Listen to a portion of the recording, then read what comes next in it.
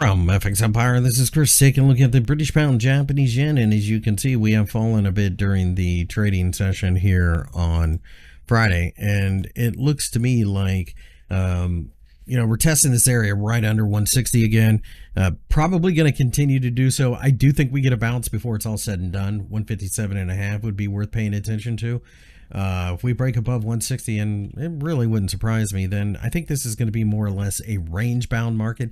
Keep an eye on interest rates. The JGB's 50 basis point limit, uh, nowhere near that right now. But if we start to race towards that area again, that will put downward pressure on the yen and send the British pound higher against it.